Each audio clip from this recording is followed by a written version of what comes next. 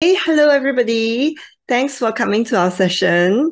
Um, yeah, apologies that I can't be there uh, in person, but uh, I'm so thankful that I can still zoom in, you know, to share with all of you. So, yeah, looking at this picture, uh, I'm sure for those of us who live in urban settings, this is probably a very common sight, right? And uh, no matter where we go in the world, we will find city folk staring at their phones. And if you look at the red arrows in these photos, they point out the people who are wearing earphones, which means that most likely they are watching online videos. But how did we get here? What advances in technology have allowed us to watch videos anytime and anywhere we like, even while on the move in public transport. Let me describe the technological progress from a personal angle. When I was a child, we already had color televisions. I used to watch animations or cartoons screened by the TV station. As a teenager, I followed the locally produced historical drama, The Awakening. It awakened my understanding of Singapore history, which had previously been just words on the pages of my textbook. I also watched foreign films and would proofread the English subtitles in my head. Going to the cinema was less common and rather expensive in my younger days. I remember with fondness my parents bringing us to the most posh cinema at the time to watch The Sound of Music. As ticket prices became gradually more affordable, I frequented the cinemas a lot more. However, in my mid 20s, I got put off the big screen after the trauma of sitting through the vividly gory scenes in Seven. I visited the cinemas much less after that. Thankfully, I could continue watching movies on the small screen at home through video recordings. My mother used to rent videotapes and we would chase after all the latest episodes of her favorite Cantonese series. The term binge watching wasn't in existence yet, but that's what we were doing. Later on, I would also borrow VCDs and DVDs for free from the National Library. For my 19th birthday, I even invited friends over for a movie marathon where we watched a string of Hollywood classics continuously for 24 hours. Hmm. Wow. Yes. The onset of video streaming on the internet opened wide the doors for me to explore many more film genres, which led to a love for Bollywood movies. Hmm. I especially enjoy those that tackle difficult issues like class or racial discrimination and reconciliation of political or ethnic divides. Japanese and Korean drama also became much more accessible. Sometimes I would treat myself by watching adaptations of manga or anime or Korean remakes of Japanese drama and have fun dissecting and comparing the different versions. What is the reason behind this fascination with film and video of multiple genres and languages? Not just for me, but also for millions of people all around the world. I would like to attribute it to the power of stories we are drawn to narratives from young through stories told by our parents and grandparents, and later on through other media that we consume. Do you recognize this iconic scene? from Singing in the Rain? We want to know why Gene Kelly was singing and dancing in the rain even though he had an umbrella. Did he fall sick after getting soaked in the rain? These and many other questions running through our minds lead to an unquenchable thirst for stories. You probably know that the bulk of the Bible is made up of stories. They are also found in nearly every culture and told in many ways. At least two thirds of the world population are oral communicators who learn best through oral methods like listening to stories and songs and watching drama or dance. And all these forms of communication are found in digital media on the internet. So when we combine the power of storytelling with the effectiveness of oral communication methods in digital media, we have a potent tool for the gospel. For instance, I had read stories about Jesus as a child. But it was only when I saw the Jesus film on the big screen that I thought this Jesus could be a real person. Now, the same film is available in over a thousand languages and can be delivered on a phone anywhere in the world at any time through the Jesus Film Project website, the YouTube channel, or the Jesus Film app. I'd like to suggest three levels of engagement that we could adopt in tapping online digital media to tell stories. Firstly, we could approach it as a learner. I watched the K drama Our Blues, which was filmed on Jeju Island, in order to prepare for a trip there earlier this year, as it features local landmarks, cuisine, and daily life. However, we can learn much more than just these outward aspects of culture. Through anime like Spirited Away, we get to visualize the animistic worldview of the Japanese people.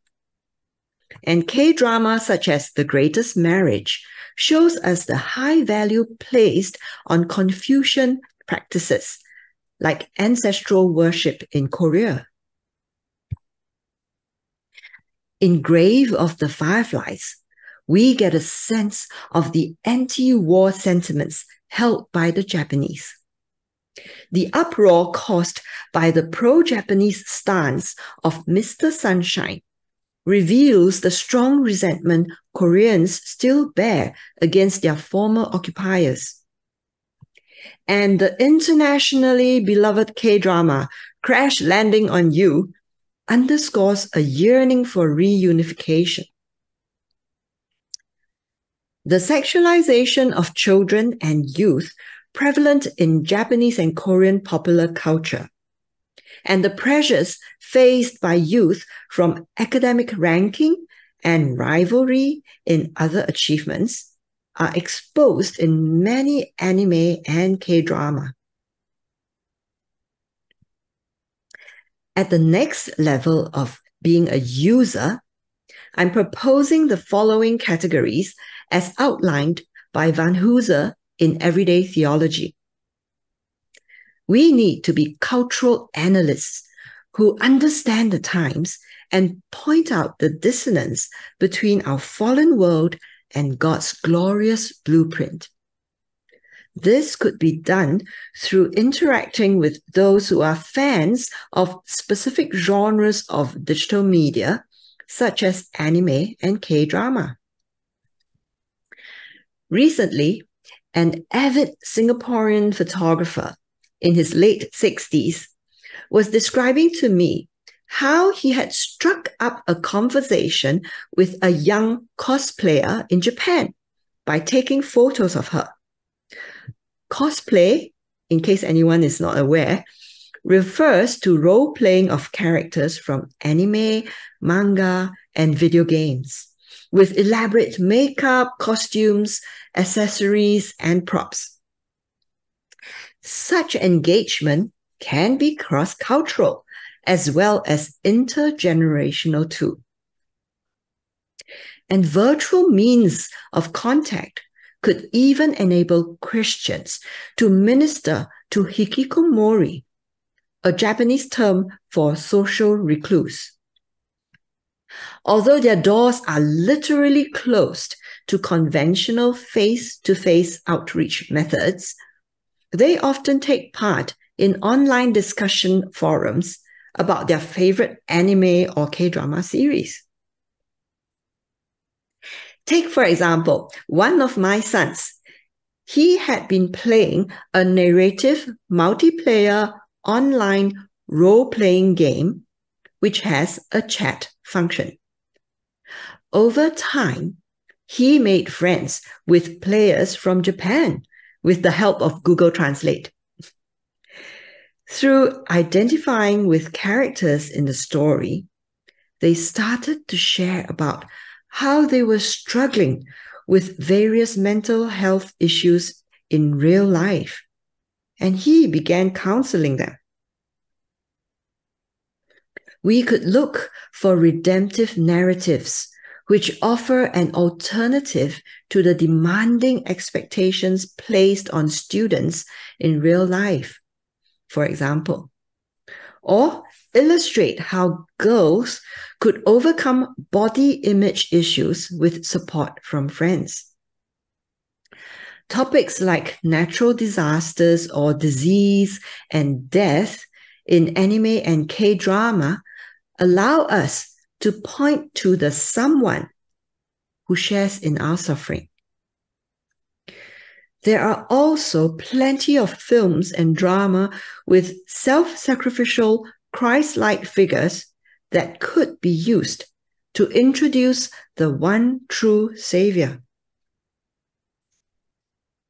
Finally, we could be producers of digital media that speak into deep yearnings for love, truth, meaning, or purpose, and offer glimpses of something altogether more positive.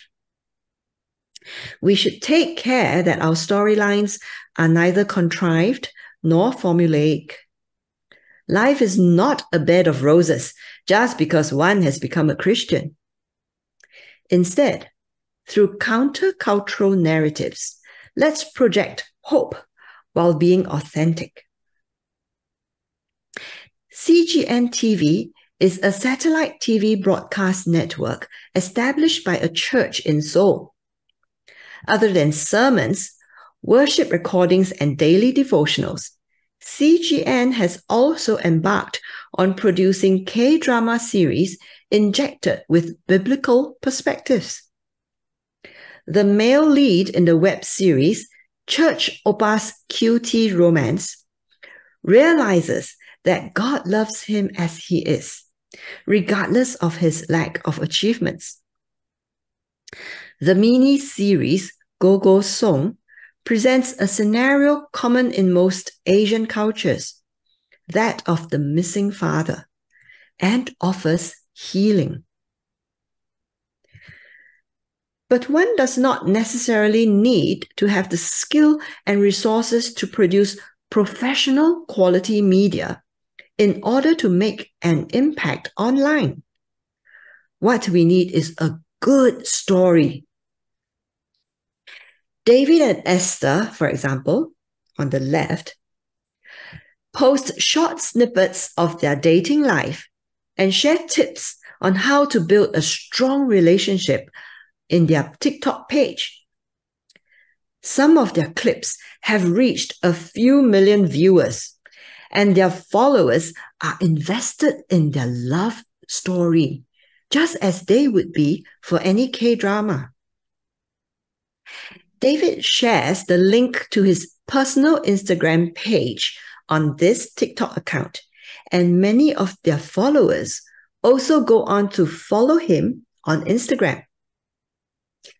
Then on his Instagram page, he shares explicit Christian content, and many followers would ask further questions about his faith, while some also seek advice or prayer from him. Melina is part of an Indonesian congregation in Singapore. She shares video clips of her church services and other events on TikTok. Although she does not have a huge following, within a short span of two months, more than 50 newcomers visited her church after viewing her posts. Most of them were pre believing Indonesians working in Singapore who were looking for a community. And soon after, many of them were baptized by the church. Minecraft is a building game, and some players intentionally have been creating cities based on biblical stories, then using these to disciple children who are Minecraft players. And trust me, there are a lot of children in Minecraft. In fact, there are more than 163 million players each month. And at least 20% of them are below 15 years old. So, what are the steps we could take? Those with interest or talent in producing digital media should get properly trained and keep up with the latest technology. They must also embark on a personal redemptive journey. Pray and be led by the Holy Spirit and be grounded in the Word. Instead of teaching young Christians to isolate themselves from popular culture, they should be encouraged to go into the world as Jesus did and engage redemptively with the culture. Of course, we must put our money where our mouth is and be willing to sponsor training and fund media projects. When we collectively raise our prophetic voice as learners, users, and producers of online media, we can then engage with those who are immersed in popular culture so as to redeem and transform the wider culture for God's glory. Most of what I have shared today is taken from this chapter in the book Arts Across Cultures, published by Regnum just last year. You will also find other chapters written by familiar names, such as Ian Collins, who I believe is in the room. Um, so, yeah, do look out for this book uh, if you're interested. And thank you very much uh, for your attention.